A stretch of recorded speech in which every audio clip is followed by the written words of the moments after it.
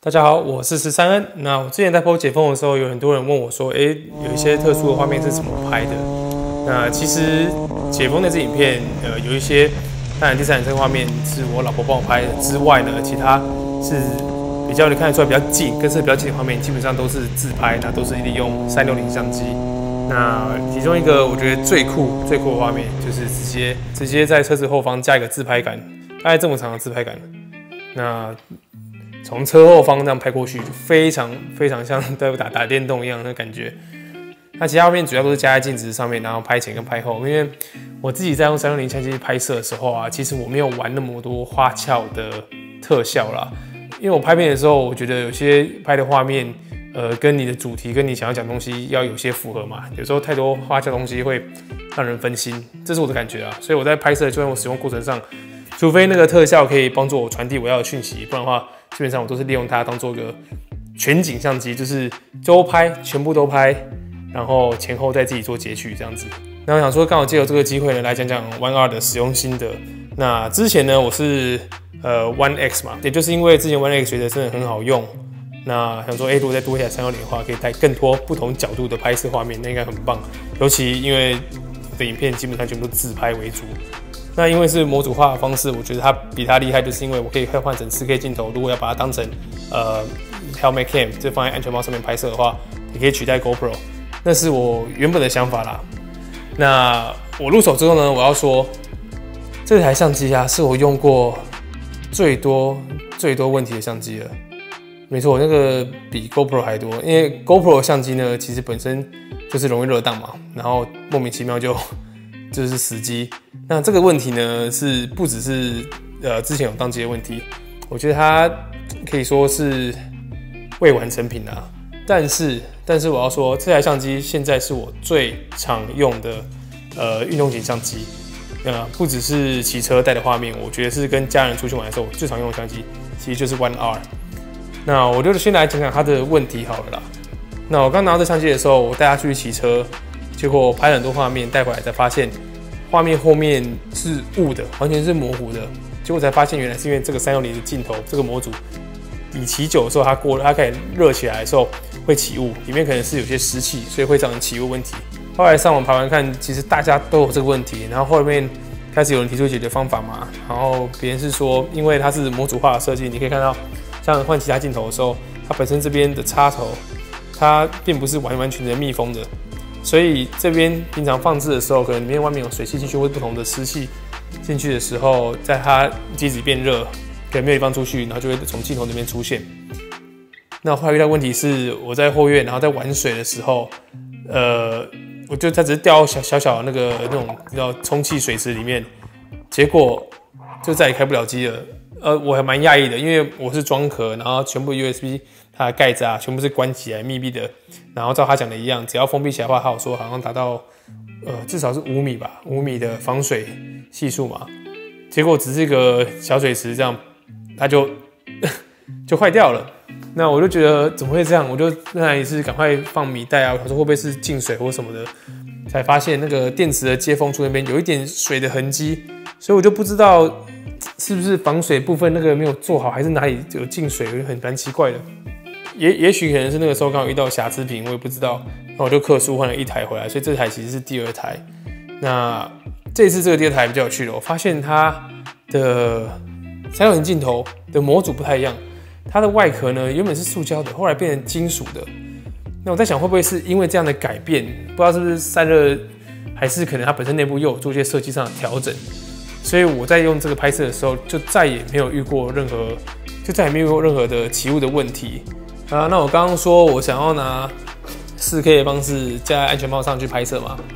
啊，我去试了，那个那个画面很遗憾不能使用，因为广广角实在太不广角了。它已经写 Ultra Wide，结果其实我觉得没有到 Ultra Wide，尤其你跟 GoPro 相比的话，那它最近后来的那个韧体更新有更一个什么更更好的 POV 模式。但它只是压缩上下给你的空那个的那个画面，它还是没有达到它广角去做更大的广角。那我不知道这是本身镜头的 limitation，它的限制，还是是可以再用那个软体更新然后去做改进的。但我就觉得很可惜啦，因为我想说拿这个可以直接看看未来可不可以取代 GoPro，就就因为它广角部分这个角度我觉得不够广，所以不行。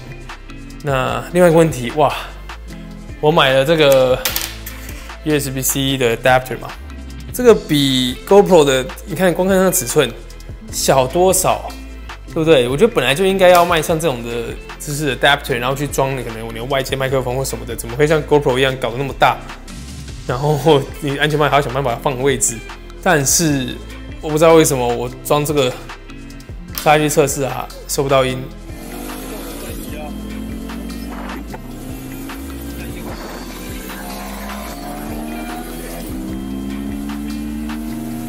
哇，完全收不到音。然后后来上网去看才知道，原来插进去的时候呢，照理说它应该要显示，就是当你配麦克风的时候会显示一个呃麦克风的图案，表示有正确，就是它会开始从那边接收你的音源，应该是要这样子。可是我插的时候就没有那个画面，没有那个显示。我到后来就是压很紧的时候才发现，哎，压很紧的时候才出现你的那个麦克风画面，表示它接触不良。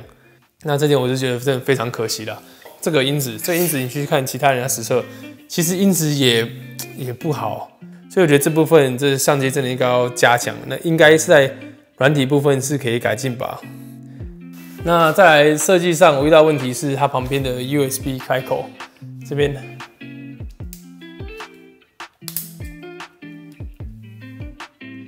这看起来好像一个小小的盖子嘛，很方便盖起来就好。但是实际上操作上实用，因为加上壳之后比较深，你要去盖紧的时候，我觉得因为遇到一些问题不是很好盖。然后加上，呃，我之前有一次遇到问题是，我盖的时候，然后旁边这个因为旁边是橡胶防水的那个 gasket 防水环，然后这边有时候在往下压的时候，可能我角度不对，夹到了，哇！结果夹到之后呢，就夹裂开，夹裂开。应该就对它防水大打折扣了，那我觉得真的很可惜，因为我不知不觉就可能把它用坏。那我觉得它盖子应该要做可以像 GoPro 那样子拉出来的方式，因为它做现在这个方式，每次要盖进去或拉出来，我都觉得有点辛苦啊。好啦，讲到这么多问题，为什么为什么我现在还是最常用这个相机呢？因为它真的太方便了，太方便了。三六零的方式，我直接带出去。我不管是骑车，我跟家人出去玩，跟小朋友去骑脚踏车，带出去外面的时候，我直接架着，我直接拿着，我就可以拍到画面。从 One X 开始到 One R，它的手机 App 做的真的是非常非常好。我在外面就拍我拍小朋友去骑车好了，他骑他的平衡车，那我马上我可以用手机去做编辑，然后就传出去 share，然后直接寄给我老婆。我觉得这个真的是。方便，我没想过可以这么的快。它里面有些特殊的功能送给你嘛，比如说你可以追踪人啊，或是可以利用手机，然后自己去看画面去做调整、拍摄、去记录你的那个剪接的那个角度，那个都很快。我觉得那个真的是方便。所以我搞半天，我觉得那应该是它最大的卖点啊。哦对了，那它因此它那它本身其实手机有提供很多那种特效的比较好玩的东西，让可以去尝试。我都没有去用了，因为我主要就是要它的画面，所以我没有去玩那么多特效。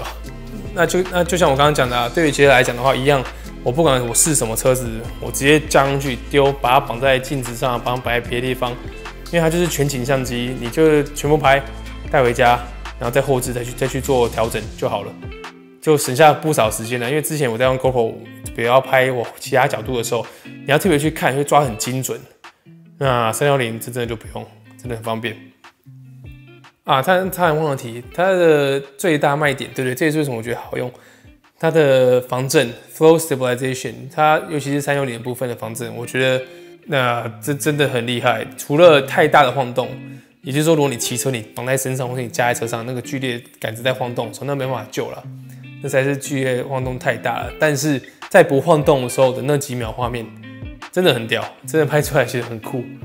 所以在记录的时候呢，如果是拍摄短片的话，做剪接可能可以。可是你要全景记录，然后这么大晃动的话，可能会不太好。但是如果手持，像我刚刚讲的嘛，手持去拍摄，然后跟只比比如说你要拍别人、拍小朋友，跟他去跑跑跑、跳跳什么的话，哇，根本不用担心就是画面震动的问题。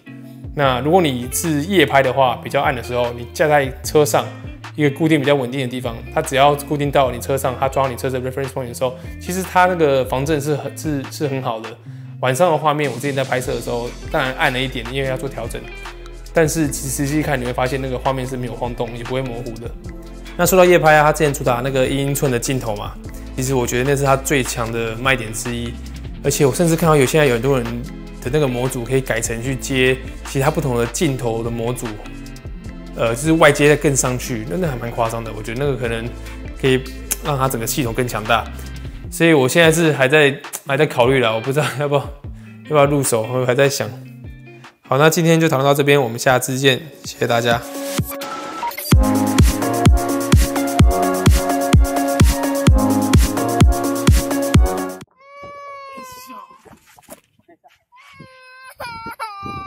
知道渣子对不对？um, um, um, um.